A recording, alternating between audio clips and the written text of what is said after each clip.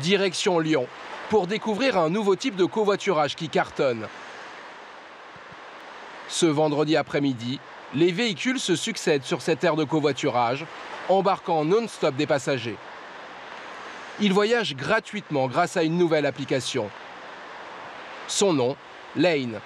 Sa particularité, les covoitureurs circulent sur des lignes bien définies, comme des lignes de bus, sauf que ce sont des voitures de particuliers qui font office de car. Chaque passager indique l'arrêt auquel il veut descendre.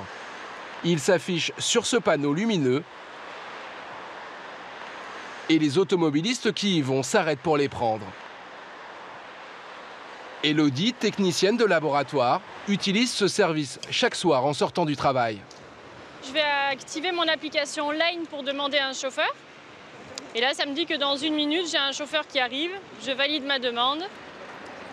Elle veut rentrer chez elle à Bourgoin-Jallieu, à 32 km de là. L'application la met en relation avec deux automobilistes qui s'y rendent aussi. Aujourd'hui, ce sera Denis. Elle le connaît bien. Il voyage souvent aux mêmes horaires. Ce soir, il ramène deux passagers. Ouais, mais il n'y avait pas la. Attends, attends. Que t'achètes un monospace. euh. Ouais, ouais, non, mais. Je te le dis tout de suite. hein.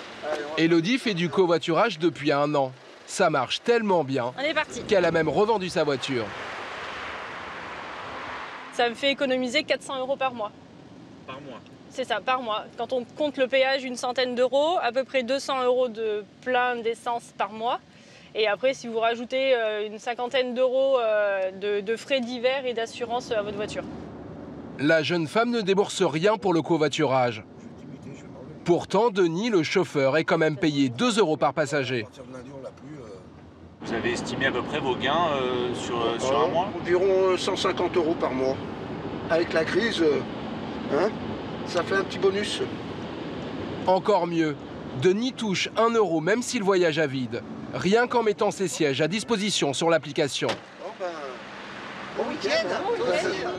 Salut Denis Alors qui rémunère Denis? C'est à la mairie de Bourgoin-Jallieu que nous allons trouver la réponse.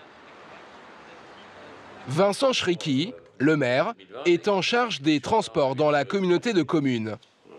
C'est cette collectivité qui finance les covoitureurs. Cette collectivité. Pour nous, c'est une charge de 100 000 euros. C'est à la fois important, mais par ailleurs, si on compare ça à ce que ça coûterait d'avoir un bus ou, euh, euh, qui circule toutes les 5 minutes, puisque c'est ça le niveau de service qu'on a, c'est un passage toutes les 5 minutes de quelqu'un qui peut vous emmener, en fait, ça coûterait beaucoup, beaucoup plus cher.